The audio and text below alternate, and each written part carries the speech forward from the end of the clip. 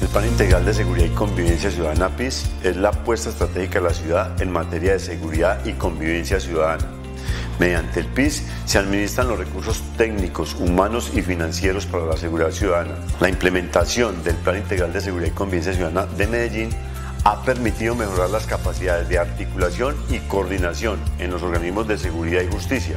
Esto se evidencia en una mayor respuesta de las entidades responsables de la gestión de la seguridad y la convivencia, un uso estratégico de los recursos del Fondo de Seguridad Territorial, FONSET, mediante programas orientados a reducir las problemáticas priorizadas en el PIS y una mayor disposición a la cooperación y al trabajo en equipo.